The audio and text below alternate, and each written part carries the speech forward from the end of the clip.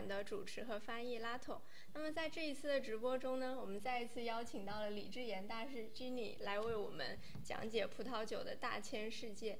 嗯，在上一次的直播中呢，李智妍大师向我们介绍了美国的纳帕谷这个产区。那么在今天的直播中，，Jenny 将会向我们介绍另外一个举世瞩目的葡萄酒产区，相信大家都听说过这个地方，那就是法国的勃艮第产区。那么现在话不多说，我们就将时间交给君妮。Well, I'm very excited to be talking about Burgundy because I know it's a region that many people find very confusing. And I think today we really want to take some of the mystery out of Burgundy and try to have people become more familiar with a lot of the place names and regions and styles.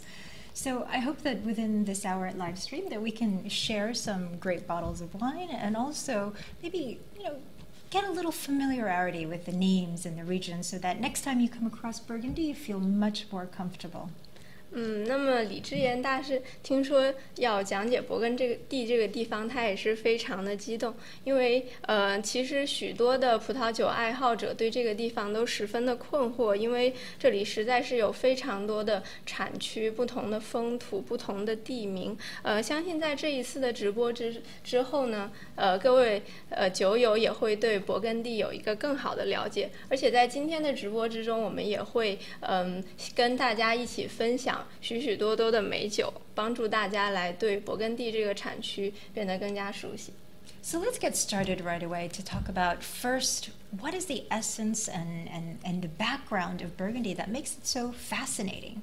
And I think there are three very, very key reasons why Burgundy is still so fascinating after so many hundreds of years. First of all, if you've ever visited Burgundy, you notice that it is rich in history the uh, Romans were there planting vines, and after that, you had a lot of dukes and churches. The monks spent hundreds of years cultivating this land, trying to produce the best grapes that made them closer to God. So that's one key reason why Burgundy still remains so fascinating today. 那么今天呢，首先君里会讲，呃，讲到的就是说勃艮第这个地方它的精髓所在。呃，我们回追溯历史的话，就会发现，呃，从古呃罗马人开始，一直到后来的勃艮第的公爵们，还有教会的修道修修道僧们，他们都对勃艮第这个地方投入了很多的心血。嗯，世世代代的人呢，都一直想要弄清勃艮第这个地方到底哪一种风土是最好的。And the second reason is because Burgundy really cultivates two major grape varieties. That's Pinot Noir for for red wines and Chardonnay for whites. And what they've done in this region is look at these two grape varieties planted in so many different types of soils and cultivated by individual farmers, small farmers in general, because the average size of Burgundy is around eight, eight hectares per by producer. So these small farming um, entities then you try to create an expression of that particular grape, whether it's Pinot Noir or Chardonnay, into what they think is a reflection of the land, of the place, and not just um, a, a grape variety or a sense of their own style. The best producers will always tell you that what they're trying to do, what they aim for, is to express the place where these grapes are grown. 那么，使得勃艮第如此特别的另外一个原因呢，就是它主要采用了两种酿酒葡萄，一个是嗯黑皮诺，是用于酿制红葡萄酒，然后另外白葡萄酒的话，就是主要采用霞多丽来来酿造。而在这里呢，种植葡萄的呢，都是一些非常小型的生产商，嗯，他们的平均每一个生产商，他们所拥有的土地大约只有八公顷，嗯。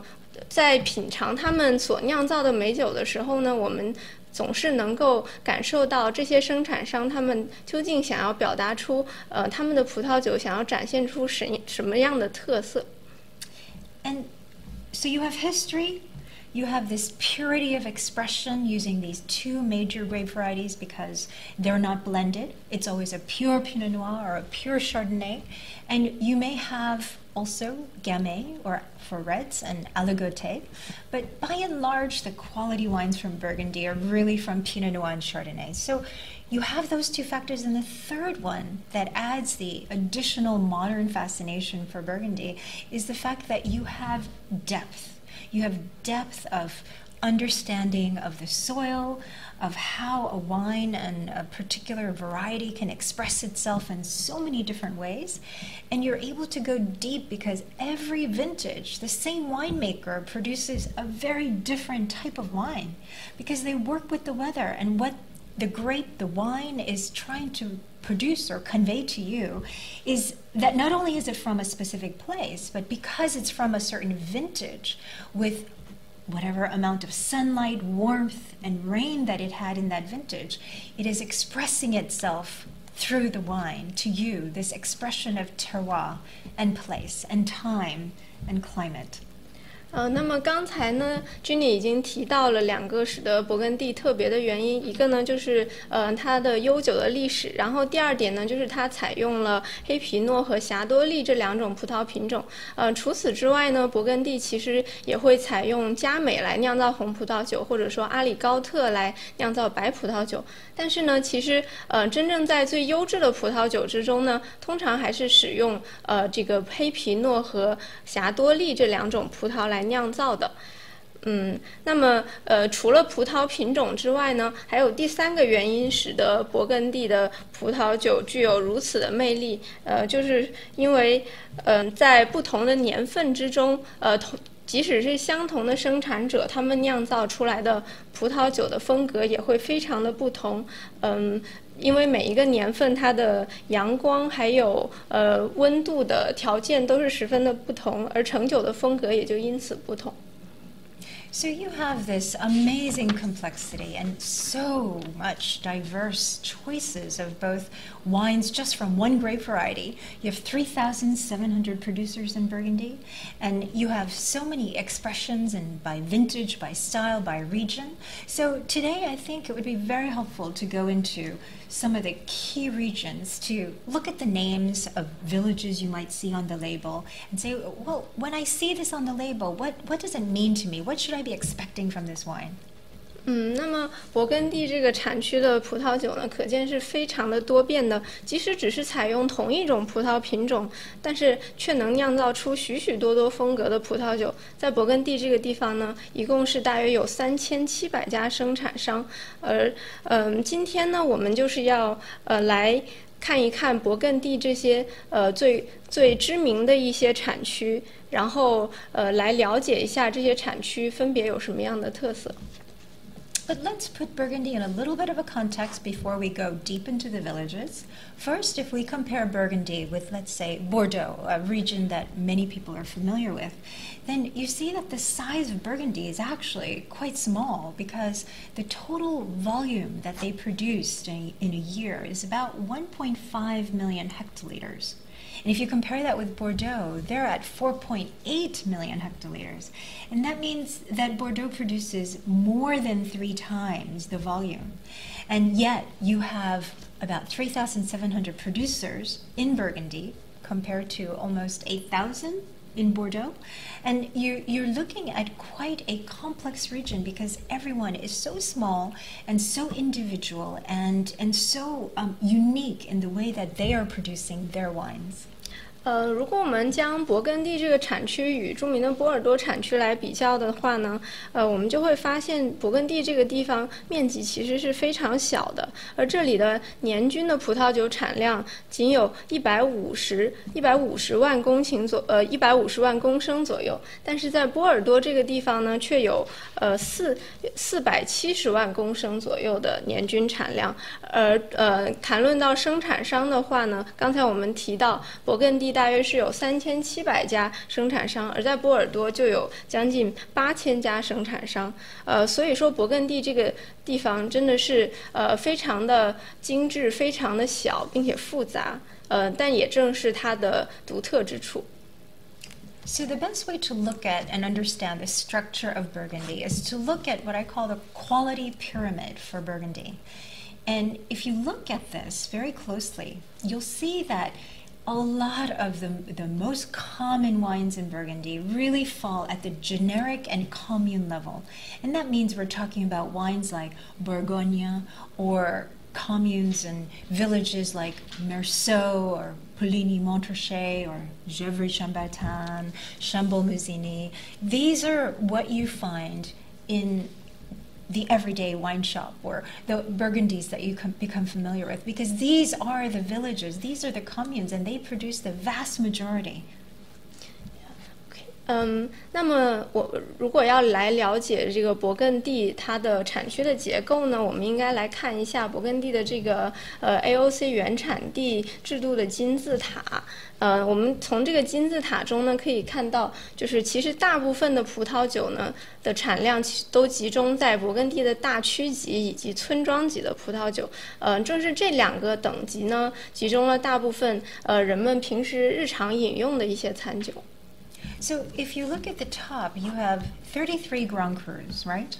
But you have 640 Premier Crus.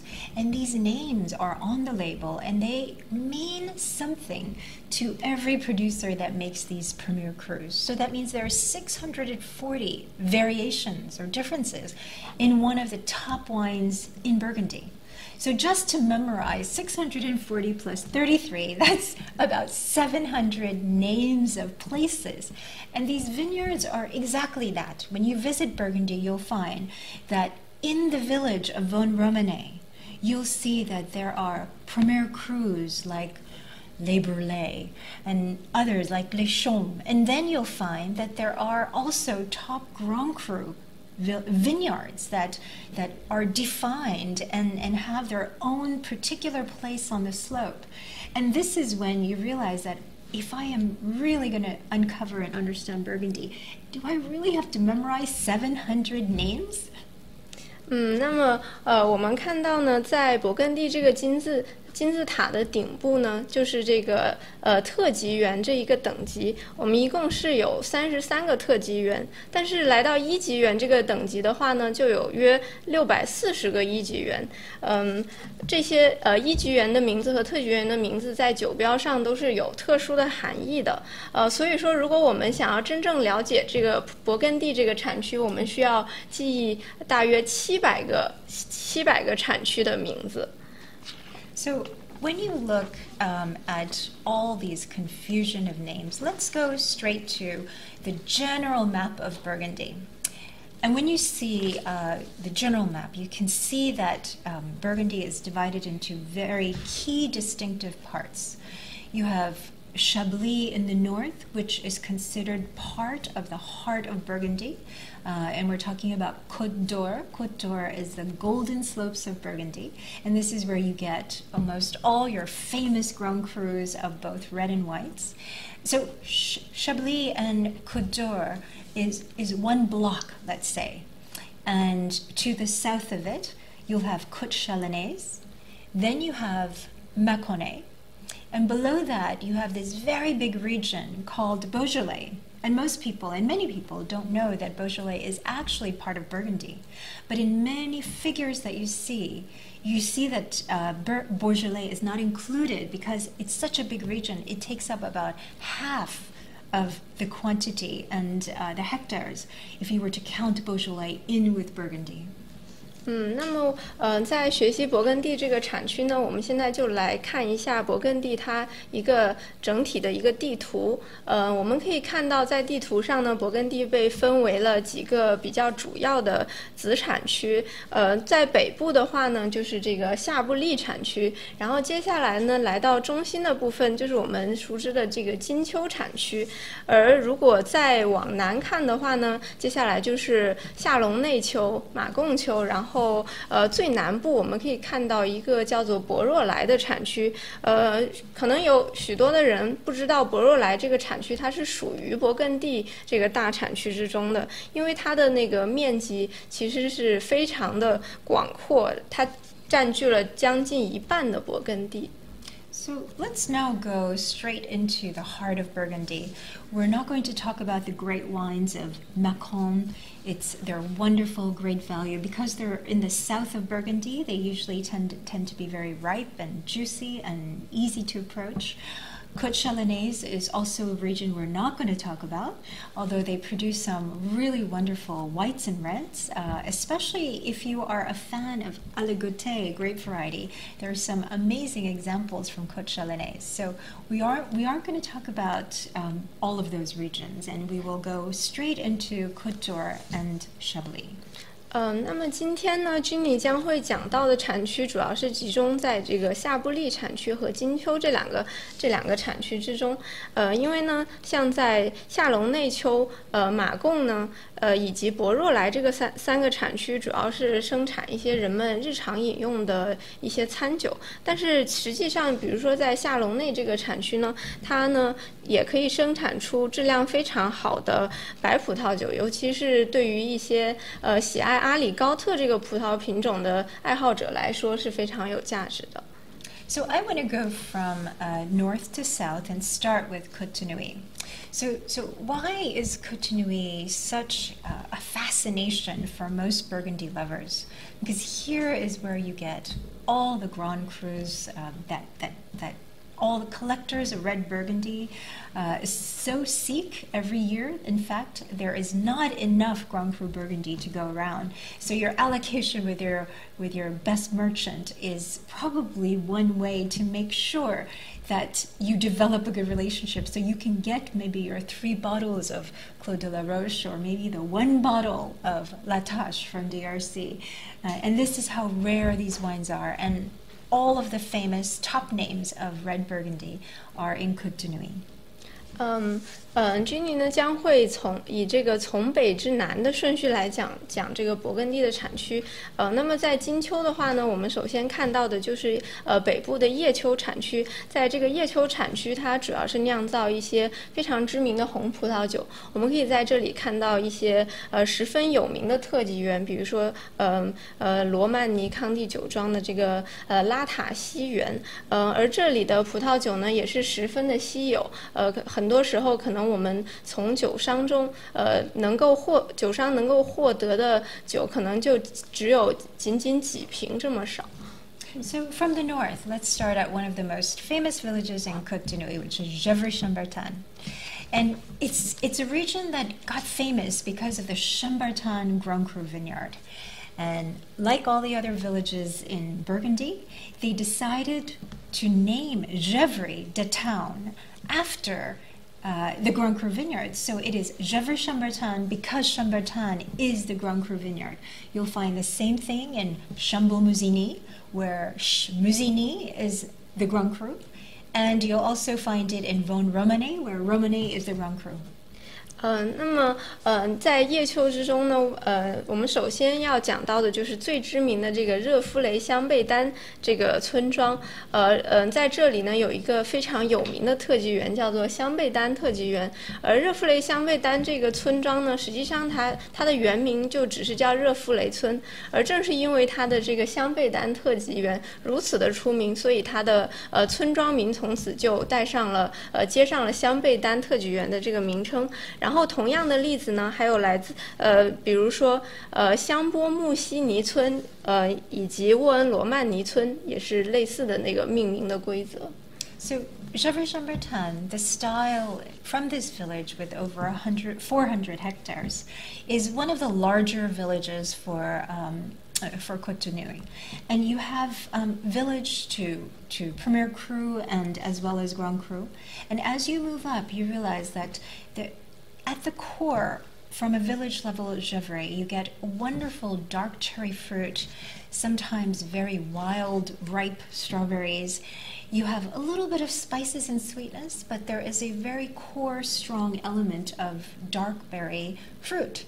Um, and that, that's what you see in, co- in combination with very silky tannins. They're not as light as Chambolle Musigny, they're moderate, and they give very good backbone to uh, these wines that can, the top wines from uh, the Premier Crus and Grand Crus, which can age for 20, 30 years easily. 呃，那么，呃，热夫雷香贝丹这个村庄呢，它的面积大约是大于四百公顷。呃，这里呢有一些一级园，同样也有特级园。呃，这一个村庄它的葡萄酒的风格呢，呃，最大的一个特点就是它有着非常明显的深色莓果的风味，比如说像是呃非常成熟的野生的草莓，呃，而且它的单宁呢也非常的顺滑。呃，虽然说不是像是呃。不是像是沃恩罗曼尼这种呃非常优雅的风格，但是它的它的单宁也能够支撑起这这这些非常顶级的葡萄酒。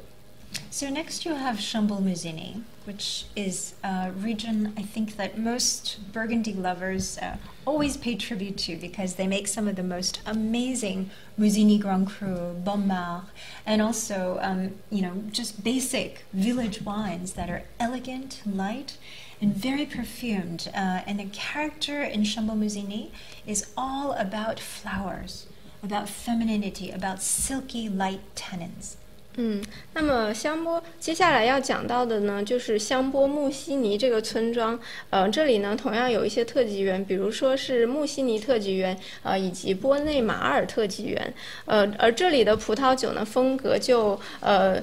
又有它自己的特点，比如说，呃，这里的葡萄酒它的风格非常的优雅，呃，非常的芬芳，呃，最大的特点就是具有明显的这个花朵的香气。它总体来讲是一个非常女性化的风格的葡萄酒。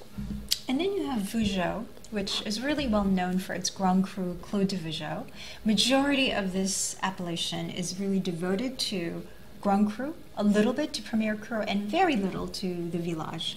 And it's a place that many people go to for uh, affordable Grand Cru, but there are around 70, 80 producers making Vougeot. Grand Cru, and you find that the, the quality variation can be very wide. Some producers who are great can make amazing Vougeot, and others uh, are more disappointing and is only maybe at a Premier Cru level rather than a Grand Cru.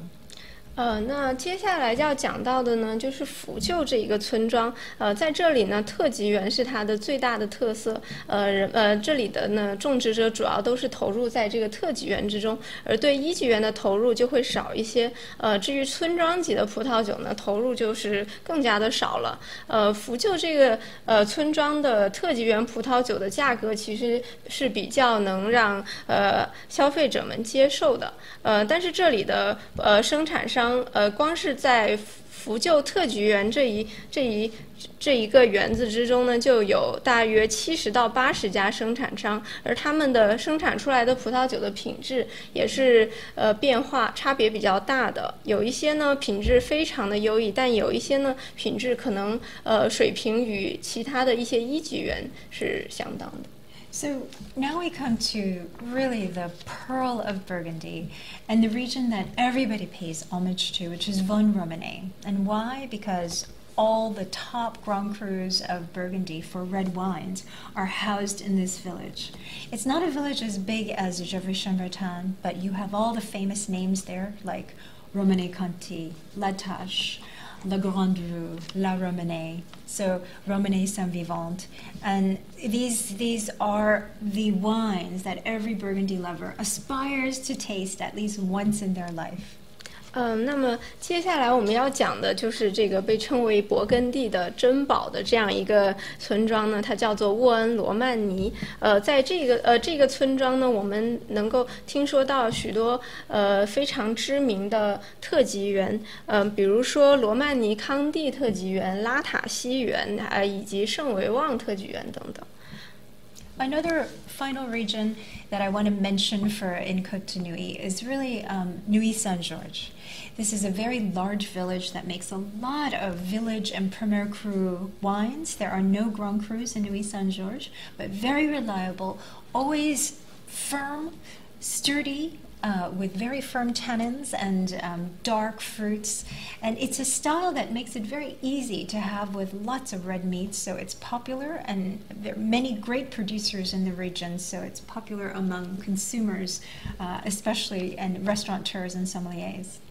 呃，那么在叶丘这一个产区之中之中呢，就你会提到的最后一个村庄就是这个叶圣乔治。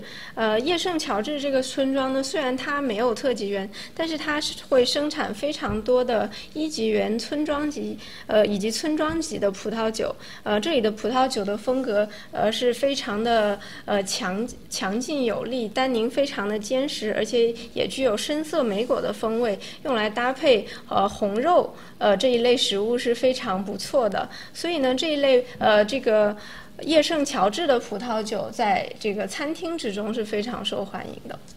So let's go now to Cote d'Ivoire, because this is a region that is famous for their top Chardonnay.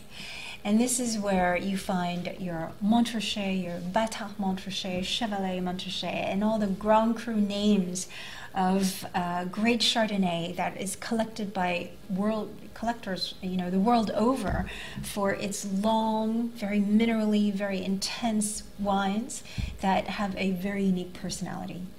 嗯，那么接下来要讲到的就是金秋南部的这个 嗯，伯恩丘这个产区，呃，在这里呢，呃，非呃，在这里非常有名的就是这个白葡萄酒，采用霞多丽酿造的白葡萄酒。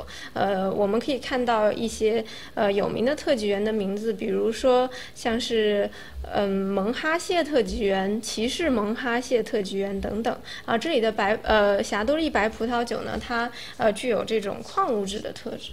So we have to start out in the city of Beaune, which is a beautiful city that most people who visit Burgundy stay in, and, and they're able to walk around this historic um, city that's filled with restaurants, beautiful churches, cobble street stones, wonderful places just to have a glass of wine.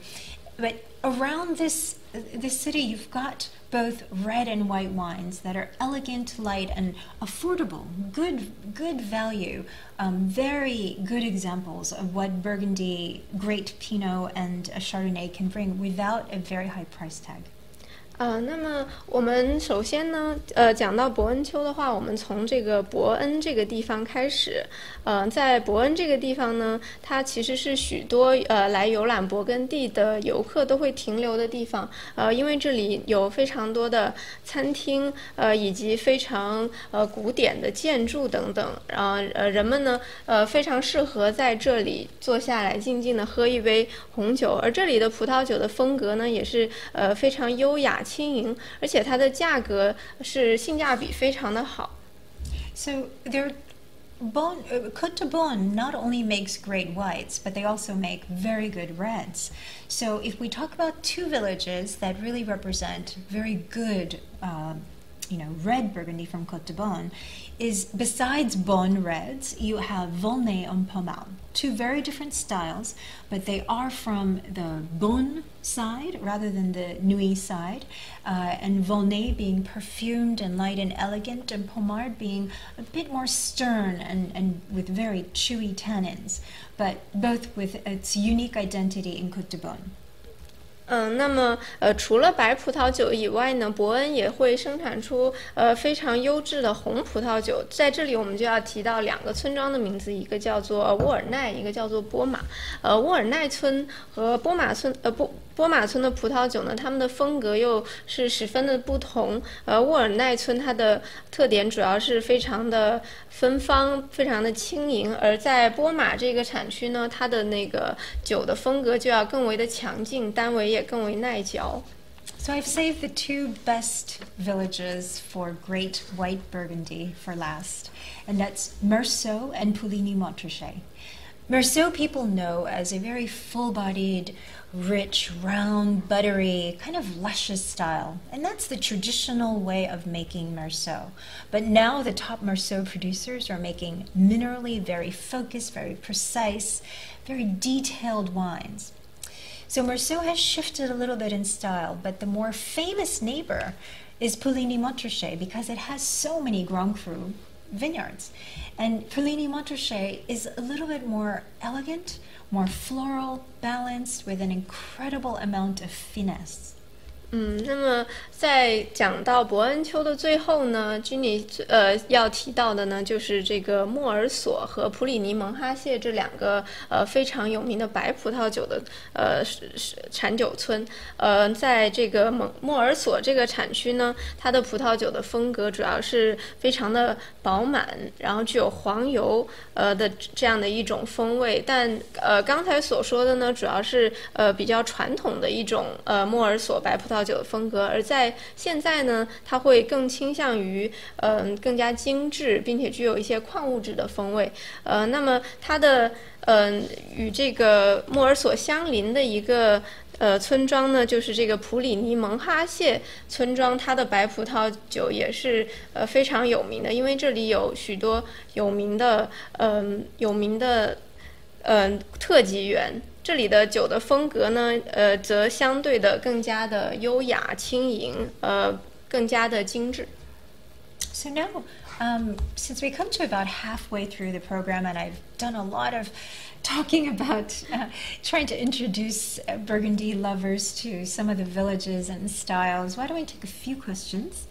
Um, from from from our listeners. OK，呃，那么居尼呢？呃，我们的直播已经呃 接近过半了，然后现在的话呢，呃，我们可以来回答一些来自观众朋友们的一些提问。呃，那我现在呢就会看一下，呃，为 Jenny 挑选一些问题。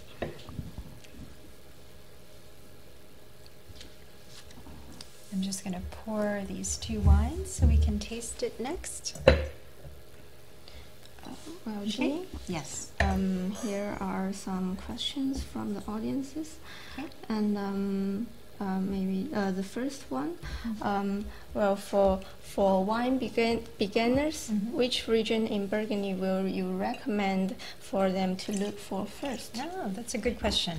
So, which region would I recommend uh, someone to start with in Burgundy? And I would for sure say that it should be in Beaune. Just a Beaune Village red or a Beaune Village uh, white, both are very affordable because Beaune as a um, as an appellation is very big which means there are lots of negociants as well as small domains and producers that are making very quality, very good quality wine. And because there isn't any Grand Cru, you don't get very high inflated prices. I think it's a very good place to start because of its elegance and affordability. 呃，那呃呃，问到这个入门者，呃， 第一个问题呢，他是问到，如果对于入门者来说呢，君尼会比较推荐去品尝勃艮第的哪一个产区的酒款？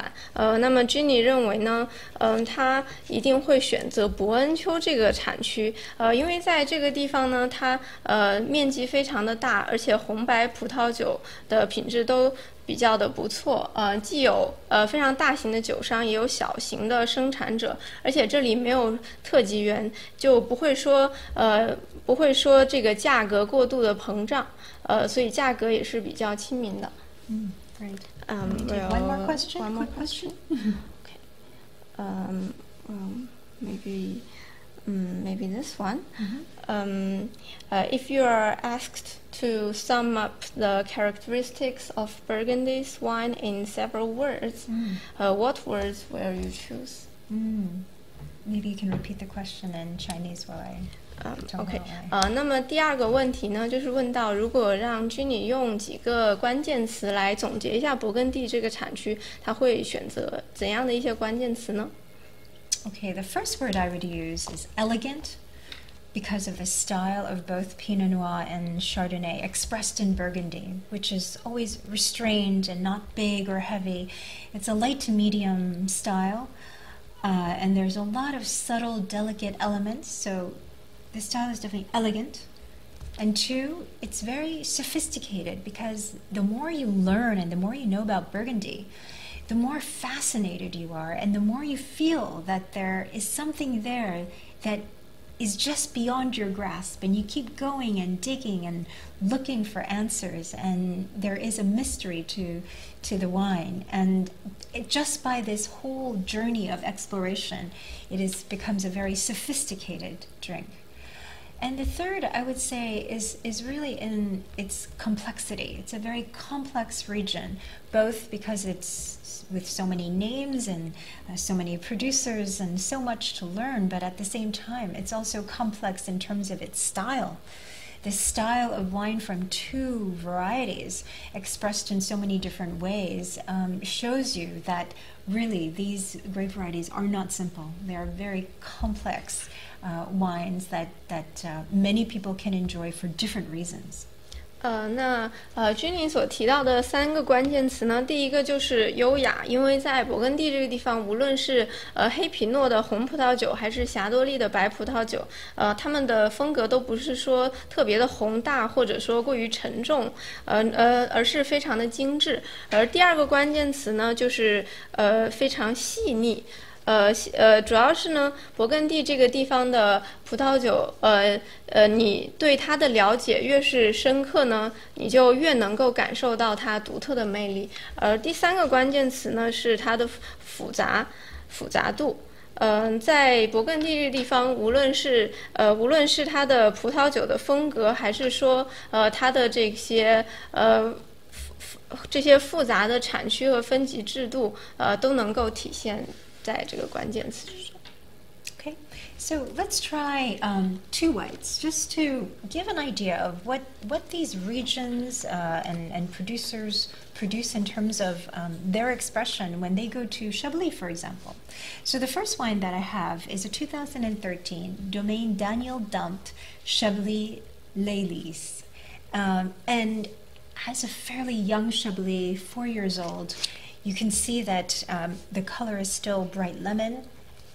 The nose is very minerally and citrusy, and this is exactly as it should. 呃，那么接下来呢，君女将会品鉴三款白葡萄酒。首先呢，我们是从一款夏布利的白葡萄酒开始。这一款酒它是来自于嗯丹普父子酒庄，呃利思园夏布利。 呃，夏布利的这款白葡萄酒，嗯，它现在呢已经呃经过了四年的平陈时间，还算是非常的年轻。呃，我们可以感受到呃它的矿物质风味，呃，这也正是它应有的一种表现。What I love about this wine is that it really shows the place. It, it to me. As soon as you taste it, you know that this is a Chablis because of its minerality, the tension, the acidity, the freshness, and there's no real fruity flavor here. It's really about a little bit of citrus, but mostly about its its stoniness, its minerals. And there's a sharpness that goes right across the palate and great Chablis Premier Crus that are about four or five years old are exactly like this. It's beautiful to drink now with just about any kind of seafood. 嗯，那么这一款酒呢，Jenny 最喜欢它的一点呢，就是它是一款非常具有代表性的白葡萄酒。嗯，它呃，在这款酒之中呢，一品尝呢就能感受到这。 的的确确是一款来自夏布利的葡萄酒，呃，我们能够感受到它的这种矿物质风味，呃，虽然它的这个果味不是特别的浓郁，呃，也虽然有一些这个柑橘类水果的风味，但呃，最最最明显的还是它的一种类似于呃石头的这样的一种矿物质的感觉。And so, like most of Burgundy, Daniel Dampt is a family story. They don't have a huge amount of land, but what they do, they, they farm with their heart and with their own sons. Uh, and, it, and for 150 years, the Dampt family has been wine growers. Uh, and you'll see this very common, a repetition, that in Burgundy, it's not just one or two generations, but very much five to ten generations of family wine growers who have winemaking in their blood.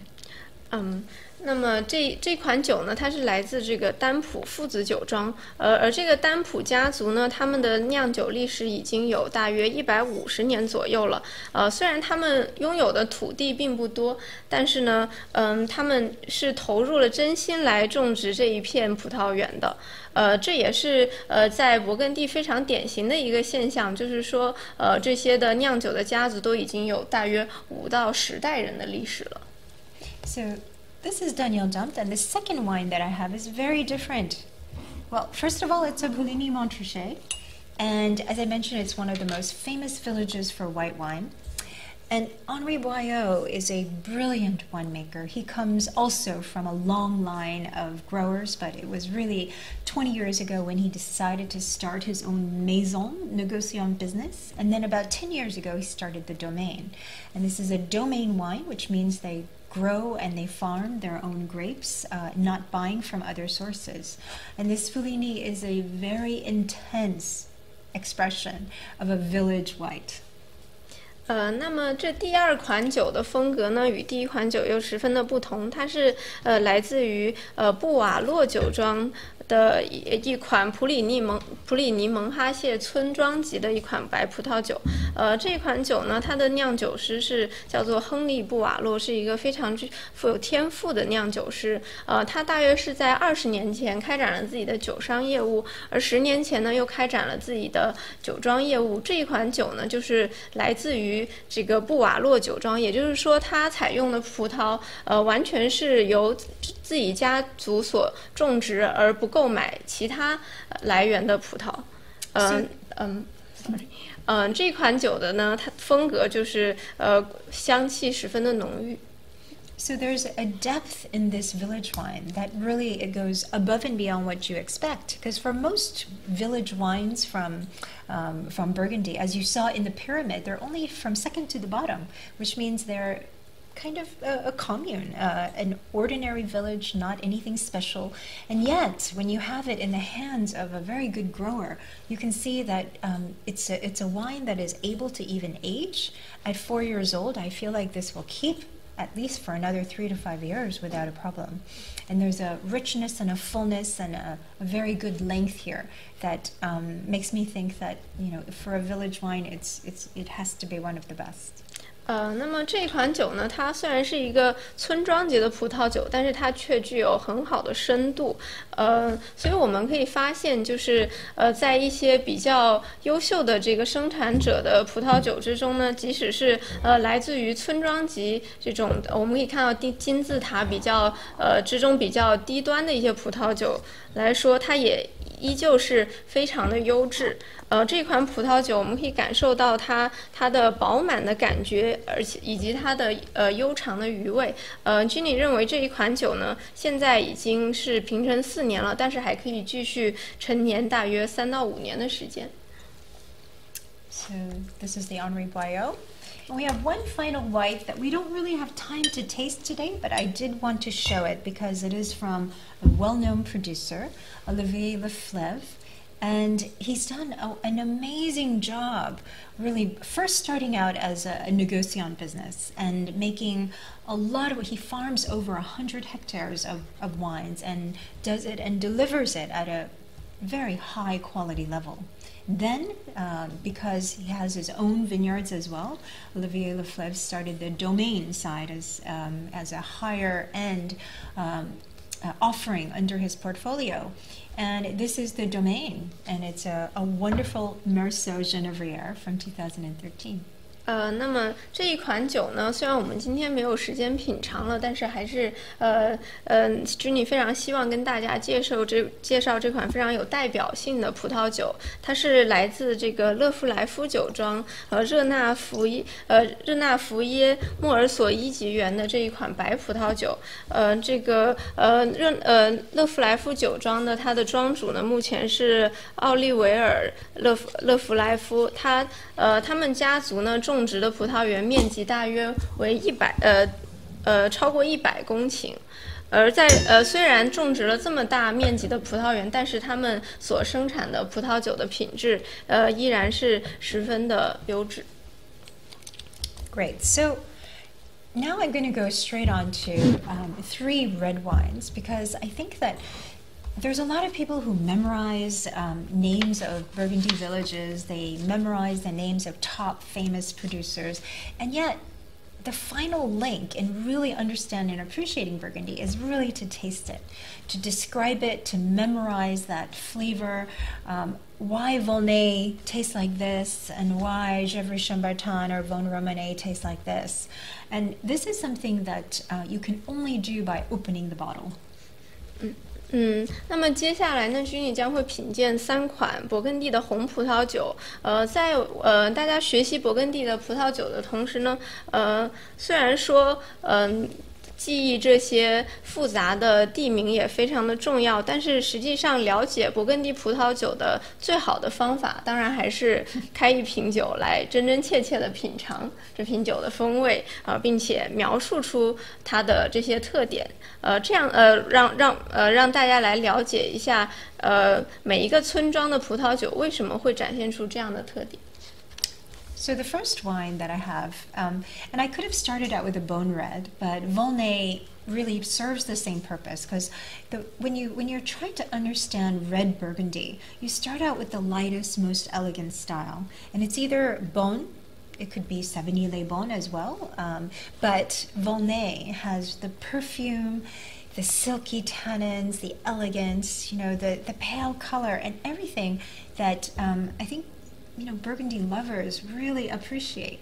This is the subtlety, this is the femininity, this is the floral um, character about the wine that really makes people fall. 呃，那么呃，今天呢，虽然我们没有这个来自伯恩这个产区的葡萄酒，但是呃，这一款沃尔奈的葡萄酒呢，也是一个呃作为品鉴的好的开端，因为这里的葡萄酒它比较的轻盈，而且呃具有呃非常浓郁的香气，呃，而且我们也可以观察到它的颜色是比较的浅的，呃，同时它又拥有非常顺滑的单宁，呃，展现出了这样女性化特色的一。种风格。So first you notice that um, most burgundy is going to be this pale in color.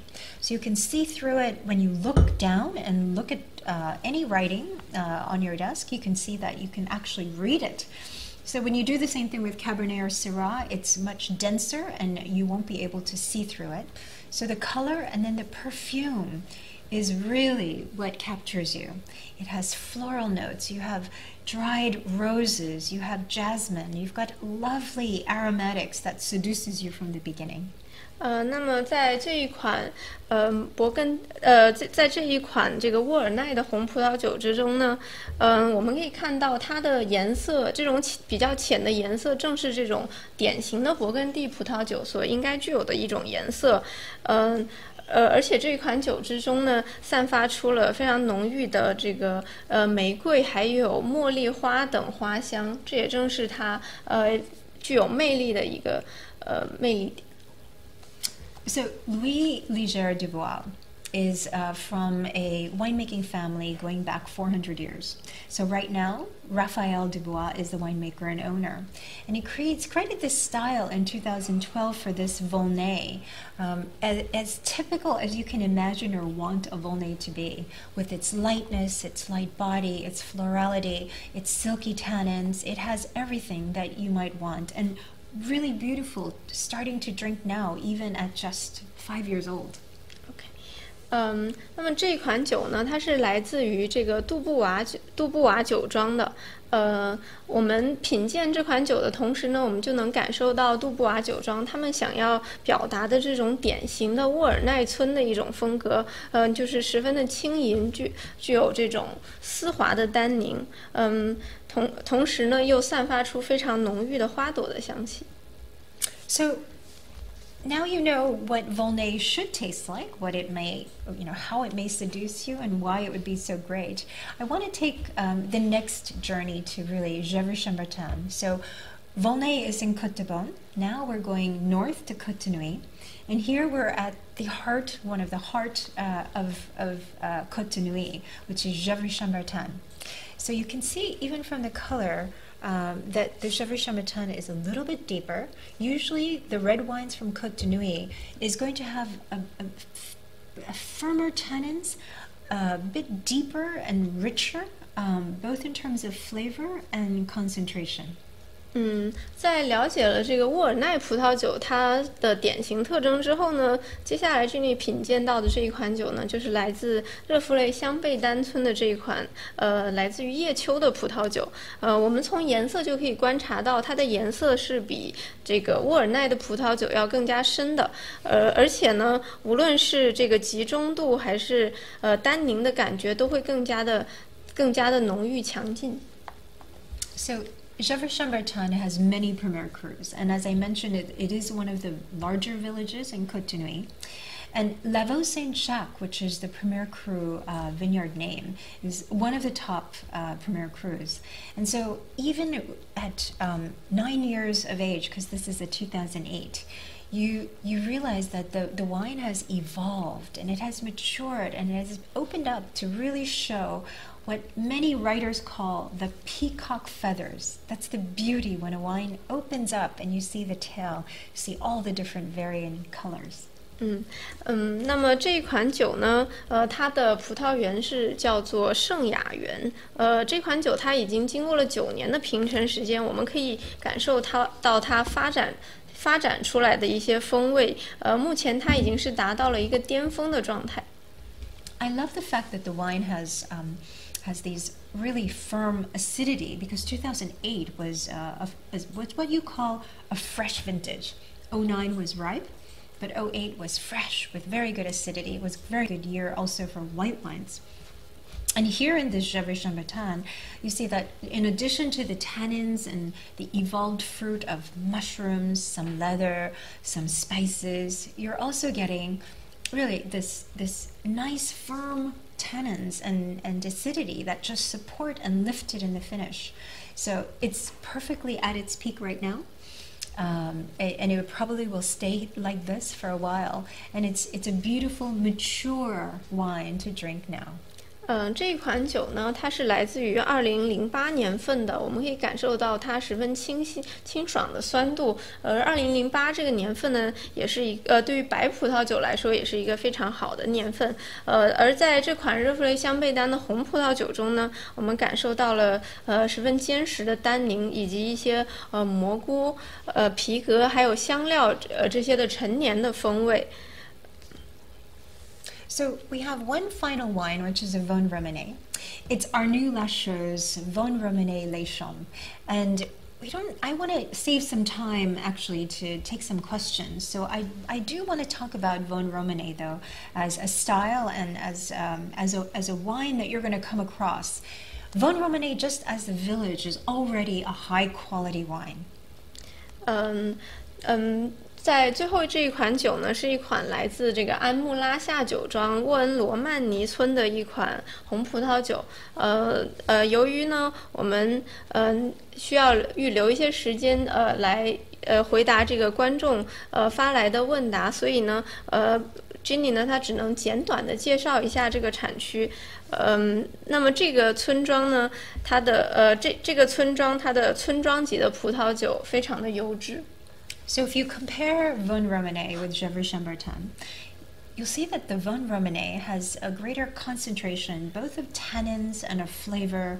Um, there is a velvetyness, a sumptuousness, a kind of richness, uh, whereas Gevrey-Chambertin is more about cherries, dark fruits, um, and it has ripeness and good tannins, but not in the same generous way that you find with Vosne Romanée. And that's one of the reasons why many of uh, the vineyards in Vosne Romanée were, were designated as Grand Cru because they created such concentrated styles. 嗯，那么这个沃恩罗曼尼村，呃，它的葡萄酒的风格呢，与热弗雷香贝丹村相比的话，会更加的集中，具有更加呃饱满的、更加丰富的单宁。而热弗雷香贝丹村呢，它虽然也十分的成熟，并且具有深色水果的风味，但是它的单宁的表现，呃，就不如这个沃恩罗曼尼村葡萄酒如此的奔放了。So, in terms of winemaking, almost all the um, uh, red Burgundies will have been aged in oak for at least a year or so, and a percentage about 20 to maybe 35% for Premier Cru.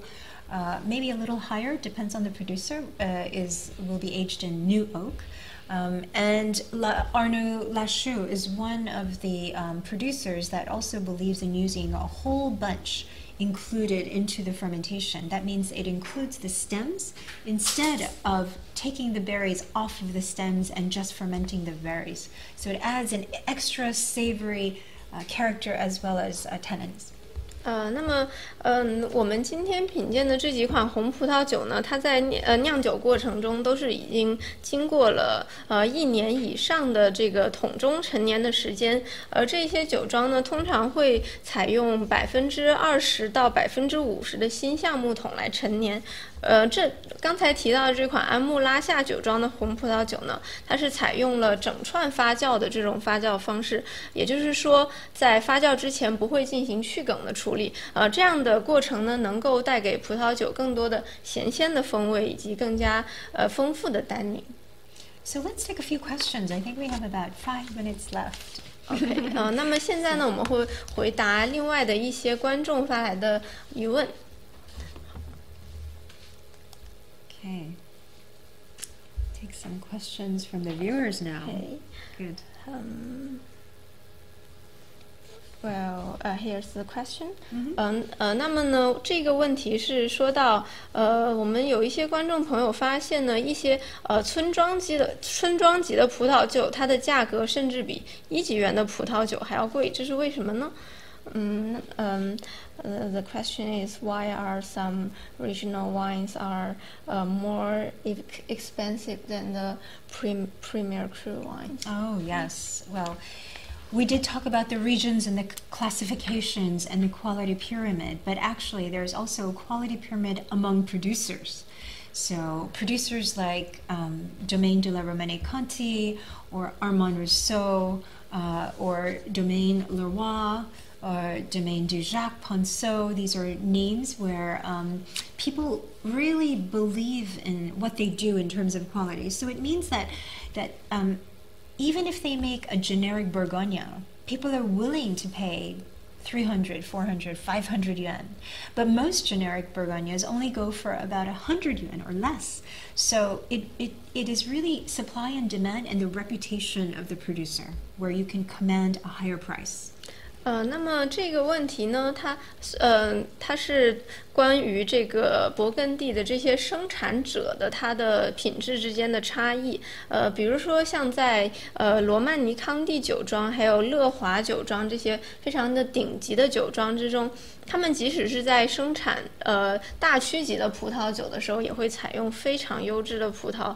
嗯，那么消费者呢，在购买这些酒庄所生产的大区级的葡萄酒是呃的时候呢，可能会愿意花费大约三百到五百元的呃来的价格来购买这些葡萄酒。但是通常来讲呢，呃大多数的大区级的葡萄酒的价格呃大约只有一百元左右。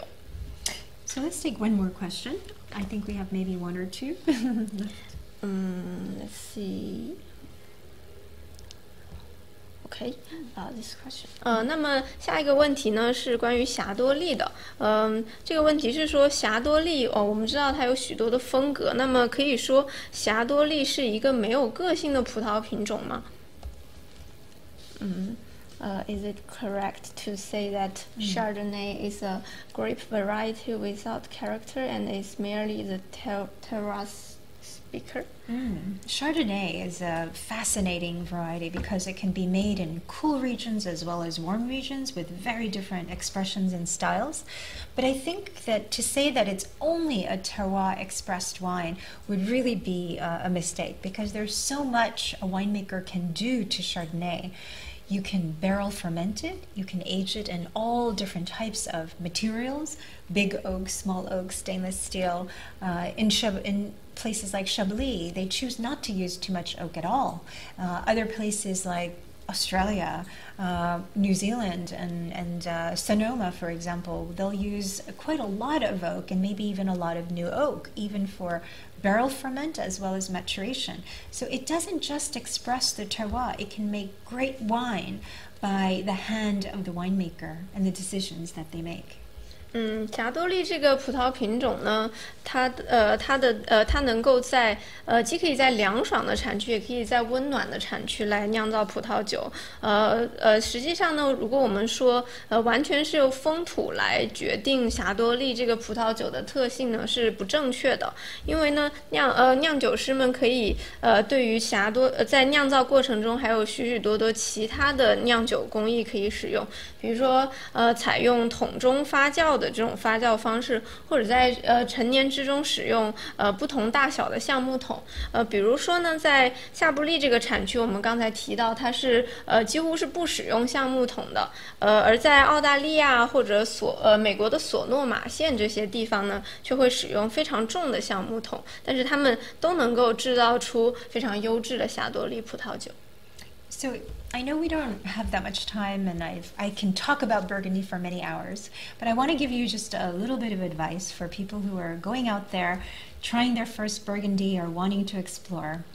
Everyone talks about how complicated all the place names are. We've tasted a few, but I would say that really start with a producer that is highly recommended to you by your favorite merchant, your favorite online wine store, or a very good friend because this is where you will find um, some connection because it's the stories and the people behind the wine, especially in Burgundy, that really uh, will speak to you and will show you and take you by the hand where to go with Burgundy.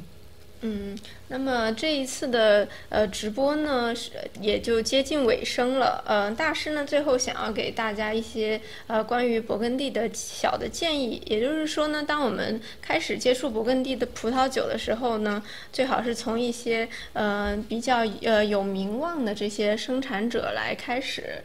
呃，那么呃，在节目的最后呢，呃，还想告诉大家的一件事就是，呃，我们的呃红酒世界的网上商城在从今天开始一直到三月五号，呃，将会推出一个呃勃艮第葡萄酒的限时特惠活动，呃，当然也会包括我们今天所品鉴的这六款葡萄酒，嗯嗯呃，希望大家在这一次直播之后呢，已经对勃艮第的葡萄酒有了一个初步的认识。嗯，谢谢大家的观看，谢谢，谢谢，Thank you。